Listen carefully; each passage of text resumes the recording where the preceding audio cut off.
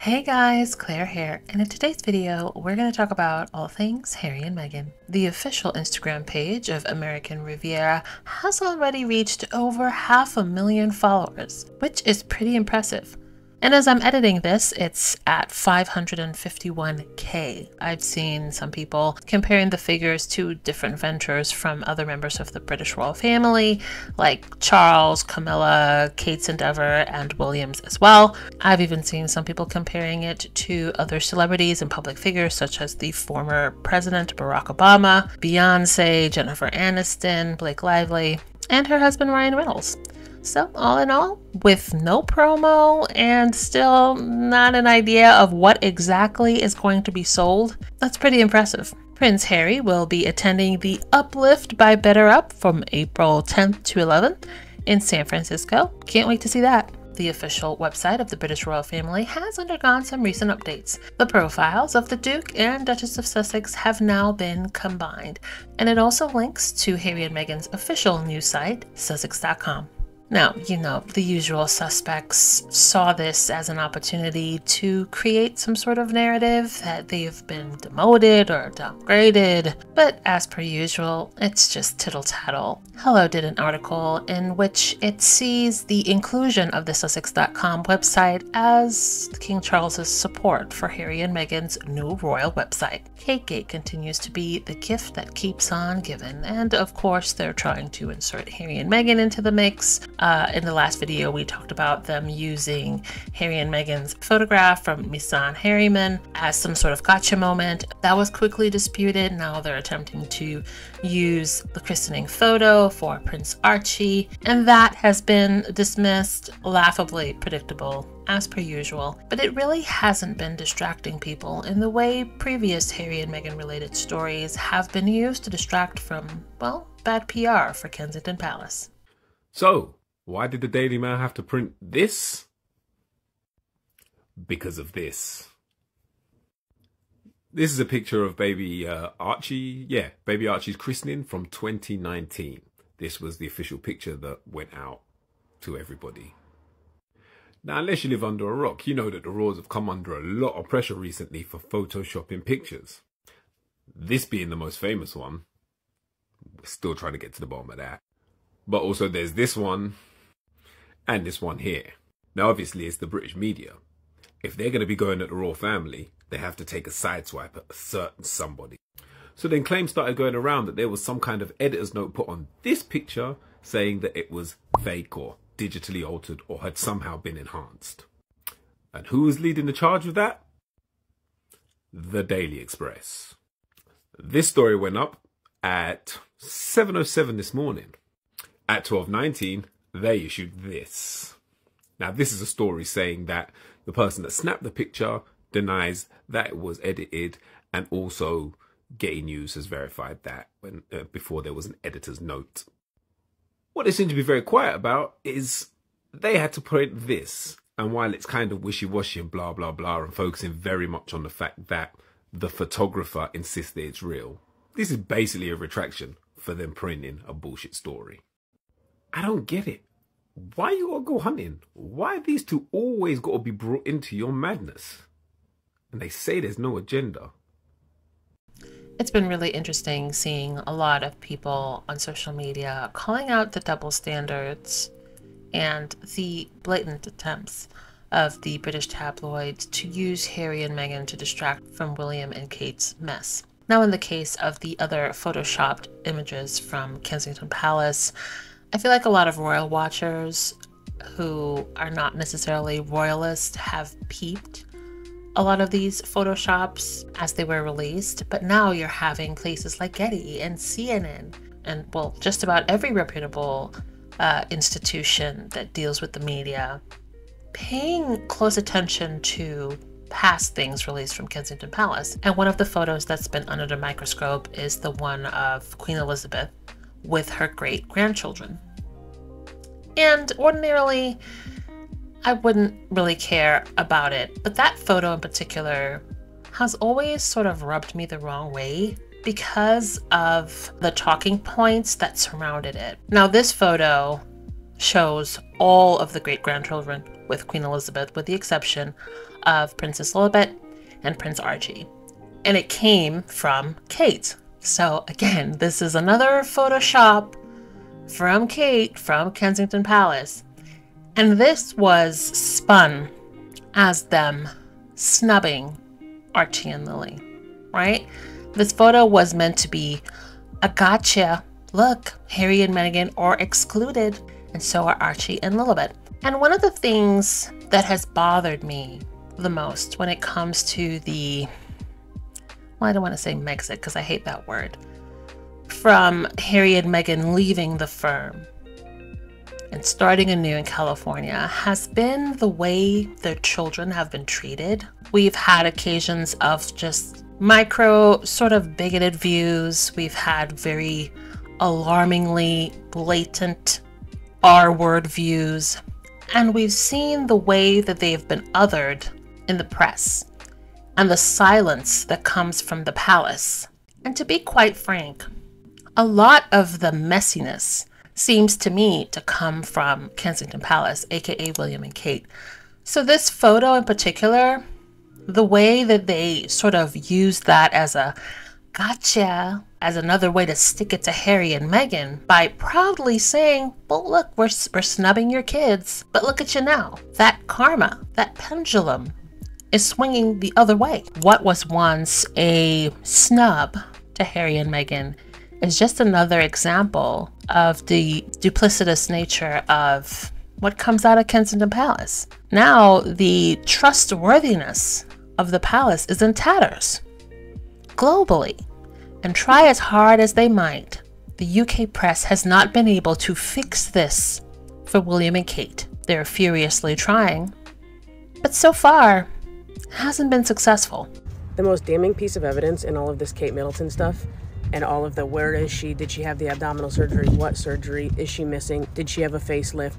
All of these things. And I, this new one of Peggy Rose, sorry, I call her Peggy, it's funny. The most damning piece of this, though, is that none of those stories have been run by the royal press, have been run by the tabloids in the UK, which just tells me that Harry and Meghan were absolutely telling the truth when they said that they were being fed all of the reports that all of their stories, all of their stuff was being manufactured and leaked by the royal press.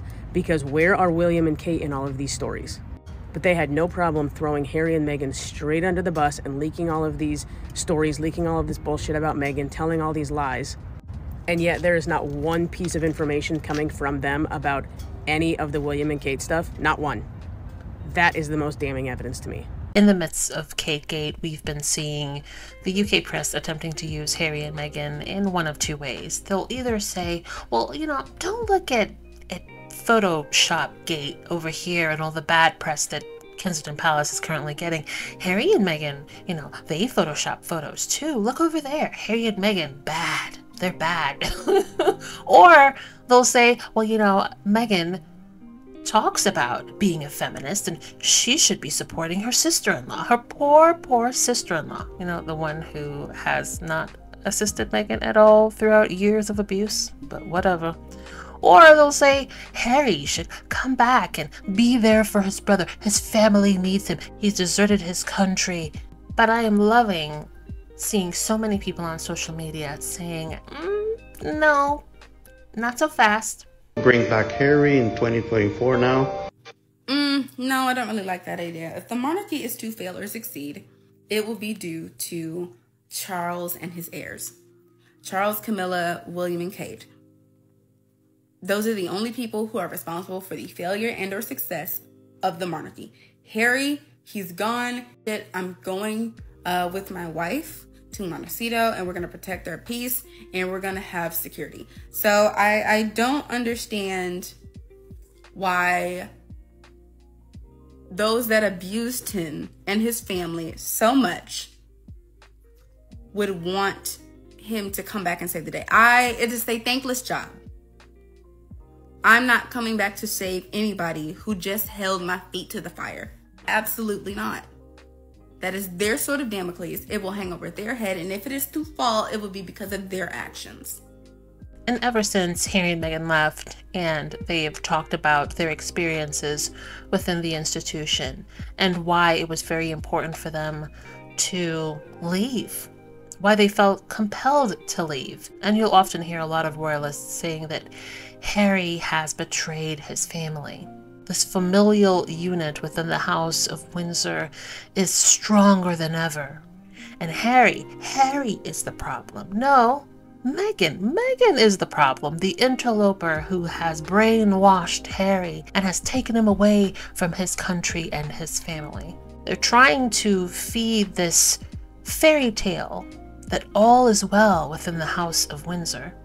But it's always interesting because ever so often you'll hear them say the quiet part out loud. But also the two different teams. I mean, it's clear that I mean, it's clear they're not working well together, but also, you know, they have very little respect for each other. So we're beginning to get to a situation where we all thought that all those, you know, two teams fighting against each other was going to be a thing of the past. And I don't think they're fighting because I think William and Charles are close. But those two teams, you know, Buckingham Palace have been quite enjoying the complete mess that Kensington Palace have been making of things. And certainly I've, you know, heard them saying, you know, oh well, you know, they need to get, you know, they need to sort this out. It's not, you know, they haven't been defending them. Right. They've been kind of slightly thinking, well, you know, haha, we wouldn't have made a mess of it. Well, like, look, this... Do you know something? Do you know something? I might know something. I might know something too. What's the thing you know? Oh, no, I can't tell you, and you tell me what you know. Well, I can't tell you what I know. Well, then I can't tell you what I know. Okay, fine.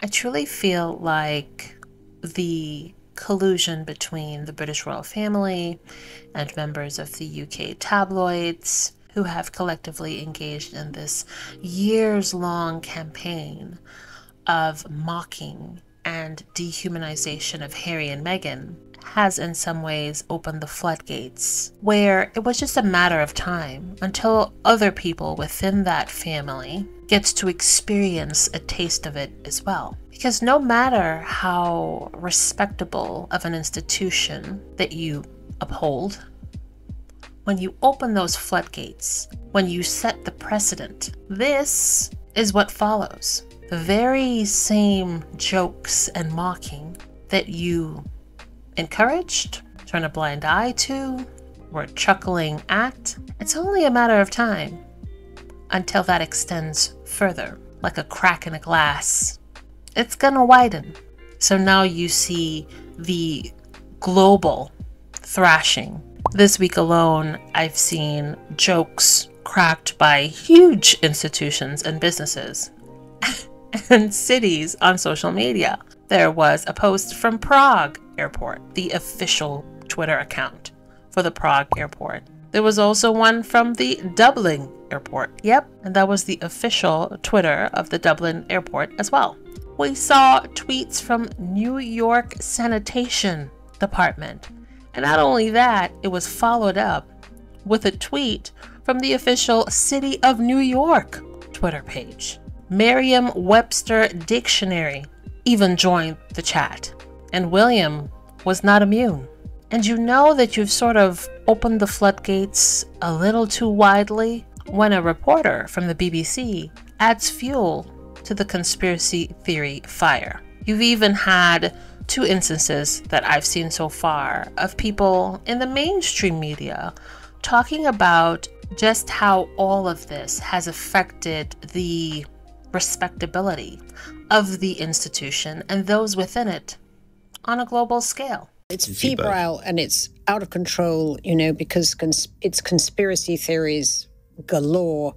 Uh, actually, a great sort of a final, I think, transition of the royals being uh, the royalty from being a kind of respected institution to being simply a kind of wild, you know, Kardashian episode. Um, I definitely think there is a sort of loss of stature that's accrued to all of this because it all feels silly and scandalous, and there's a, a real feeling that you know the palace is no longer a kind of institution of great renown. Yes, and let's be frank, the last month or so has been a comms disaster. Absolute comms disaster, and I, I do think it's more cock up than it is conspiracy. Harry and Meghan are in the upswing because what I'm hearing is people saying, well, Meghan was right. It's it, impossible being a member of that family. And people who think that Kate might have had some kind of a nervous breakdown, they're looking at what happened to Meghan. They're looking at what happened to Diana and they're saying, "Yep, it's impossible to live in that family uh, Meghan and Harry may be right. Um, how damaging is all this being, do you think, to the brand of the royal family and the monarchy? I'll, I'll tell you why I think this is really damaging.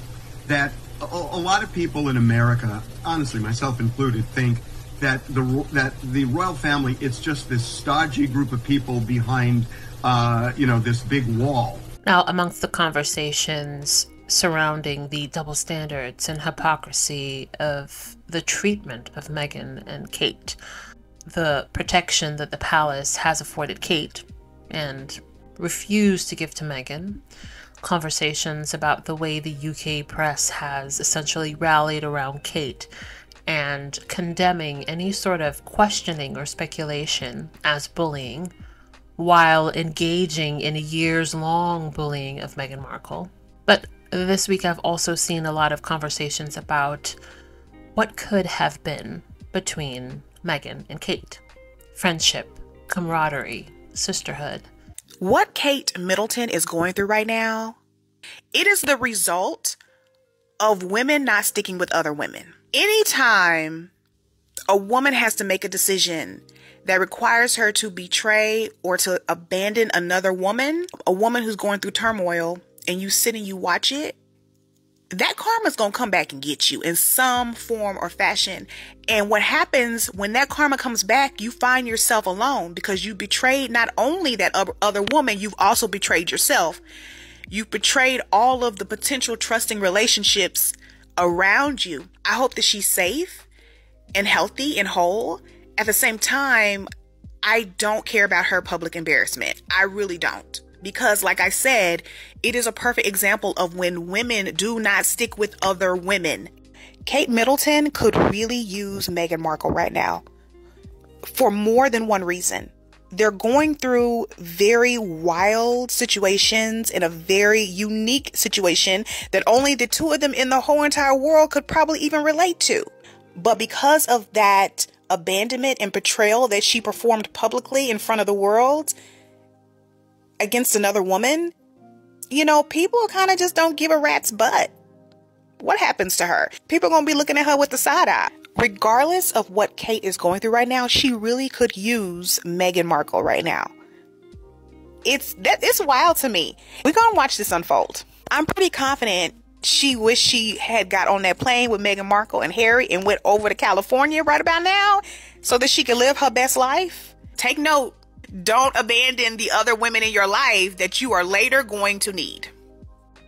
With everything going on, I just want to say I have zero sympathy and empathy for Kate Missington and everything going on with her because she was the one who made Meghan Markle cry and tried everything in her power to get her out of the royal family and aided and abetted in all of that abuse that came her way and was silent and was not helpful to her at all. So all of this going on with Kate Missington is absolute karma or what you know whatever is coming back to haunt her. She's been missing for the past three months. She hasn't been seen since Sandra gave all those police cars end of December. All the photo editing blunder. Her husband barely visiting her in the hospital and not doing anything about it.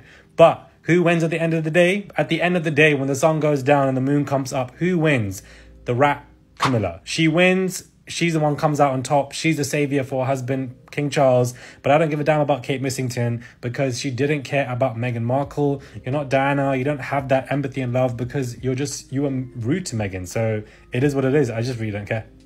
Okay, so if you follow my page, then you know that I talk about the royals pretty frequently. And like at least like 20 to 30% of those videos are me just like dunking on Kate because I'm sorry, I do not like Kate. Okay? Like I liked her in the beginning, but like the more that I've gotten to know her, the more I've learned about the royal family, the more that I don't like her. And I especially don't like her after all the shit with Meghan, okay? And the real reason I don't like her is because she's not a girl's girl. Like Kate Middleton is the girl in high school who would be, you know, so pretty, teacher's pet, everybody would love her, but she would be so mean to you. And like I think we've seen that throughout her whole life. She had spent her whole life waiting to marry Prince William, who treats her like like which is crazy. I can't even imagine what he's like at home. And all because she wants to be queen. And so it's like I'm sorry. Like I I don't feel sorry for for people like that. Like I I just I don't. You waited all this time to marry a king. My question is with that, I'm like, so we're not allowed to say that Kate Middleton got a BBL, but y'all are okay to say like literally the most on earth about Meghan Markle? Please miss me with that. I literally can't. And like the thing is, when it comes to like Will and Kate's marriage, like just get divorced. You don't like him. He certainly does not like you. He is cheating on you. Everybody knows it. Like just get divorced. Like people get divorced every single day, co-parent. But the reason Kate won't do that is because she wants to be queen more than she wants to be happy. And I'm sorry, but I just can't muster the energy to feel sorry for people who like have every avenue to fix their life and choose not to because they want status more than they want to be happy. So wherever Kate is, recovering from her BBL, like I hope she's happy. I don't feel sorry for you. I really wanted to stay out of this royal drama, but here's what I think is going on. Um, her energy just feels like it's away from being a royal. Like she has stepped away from her duty, she has left, and her energy is no longer in the presence of the royals. She's not concerned with her royal duty, she's kind of left it up to them. With that being said, I think that they have had issues for a very, very long time. Her, Harry, and William. But I think she's never really known William without Harry. And as long as Harry was there, the situation between her and William was tolerable. Harry was her buffer and her friend. And then Meghan came along and took the only buffer that she had between her relationship with William and kind of threw a monkey wrench into everything. So she has to kind of um, tolerate William all on her own now. And I think it's been a, a bit much for her. And I think she feels like the one friend that she had within the royal family is now gone. I think Kate has had a very, very hard time dealing with the fact that Harry is not there with her anymore. I also think that there's a possibility that Willie was just doing what his grandmother wanted and marrying Kate and having those children, and that the moment she died or was unable to fulfill her duties, that he was eventually going to go rogue because there were going to be a new set of rules to live by. And lastly, I do think Kate is aware of all of the conspiracies online, and I do think that she giggles at a few of them. I'm not a royal watcher or a true crime fanatic. I came into this story as a photographer, much like Princess Catherine of Wales, who I did not believe took and edited this photo. But here's the thing in the cavalcade of lies from the palace, and imagine her not with her made up title, but what she was really meant to be, which is the meanest girl at a Midwest high school. This is how I know that the royal family is completely up when it comes to Kate Middleton. My group chat of seven black women, okay, blackety black black women, is blowing up with the Kate Middleton conspiracy theories, okay? Blowing up. I have never spoken about that woman, okay? I've never cared about Kate Middleton. I've spoken about Meghan Markle. I've spoken about um, the Queen. I've spoken about Harry. But Kate Middleton, for me, a non-factor. I don't, I don't spend any time thinking about that white woman. But right now, I'm invested, and so are all of my black girlfriends. What that tells me, if we're invested, every corner of the earth is invested. Okay, that tells me you guys have managed to screw this up so royally that people who don't care at all about this woman now care. We are looking, we're looking close. Okay, the way I studied that TMZ video, and I can tell you right now, that is not Kate. If that is Kate, Homegirl had a full face transplant because absolutely not. So, anyway, the point is, I don't know where that woman is. I don't know what she's doing. I hope she's healthy. I hope she's well. But the Royals have completely bungled this. Whatever the outcome is, they have completely bungled this. My flabber is gasted. Besties, um, who is this person? That is not Kate. This tweet is where I got that photo from. I zoomed in. That is not Kate. Guys, I'm so sorry. This is just not Kate Middleton. It is simply not Kate Middleton. And you know what I've decided? The royal family's boring me again because they've waited like a million years to tell me this announcement that's happening. The royal announcement, the royal announcement. What is it? Like, did she gone girl herself or not? Like, the royal family, like, th- they're not interesting enough to keep me in suspense. And also, how come I can see King Charles getting a whole colonoscopy, but I have to, I've been seeing blurry photos of Kate Middleton for months. Like, I usually, I, I could see pores usually when it comes to the royals. Like, a quick video message would really end this thing. Why'd I have to go off off of like fake royal expert sources and like where the flag is and like uh, I, I'm just bored. I'm not a conspiracy theorist about all of this royal stuff. I'm not going to point out, like, oh, the cheekbones aren't the same. It's the impersonator. The only thing I'm going to say is that Kate popping into the grocery store with William, it doesn't work with the storyline. Like, she's in, she's recovering from something. This is the story, right? She's recovering from something. She can't even come to Easter now. They've pushed the timeline of Kate being out and about to like June before people will see her. And now she's just at the grocery store? It doesn't work. It just simply doesn't work. Like, why would she not be at any of the royal events if she can fully walk and chat and smile and talk and hang out with William? Why wouldn't there even be a photo or a, a Zoom video like they do all the time? It just, it doesn't, it doesn't work. You think Kate Middleton's okay? No, I think I she's. really oh, don't oh, well, as in, is she all right? Talk about letting your intrusive thoughts win.